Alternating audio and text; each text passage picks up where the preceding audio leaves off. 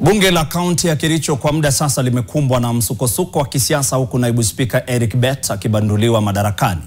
Akijiri siku moja tu baada ya Rais William Ruto kuwataka viongozi wa kaunti ya Kericho kudumisha umoja na kuepukana na migogoro. Hoja hiyo iliyoongozwa na spika Patrick Mutai ilipitishwa kwa njia ya kuitikia mapema leo asubuhi. Bet ambaye pia ni mwakilishi wa wadi ya Kapchebor alikabiliwa na madai ya kutohudhuria vikao vya bunge mara kwa mara na kutegemea mawakili kuwasiliana kwa niaba yake badala ya kushiriki mikutano binafsi. Rais William Ruto aliwataka viongozi wa kaunti ya Kiricho kudumisha umoja na kuepuka migogoro. Mwakilishi wadi wa Soin alilaani hatua hiyo ya kumtaka Rais Ruto kuingilia kati na kuchukua hatua kali dhidi ya wawakilishi wa wadi waliomtimua Bet.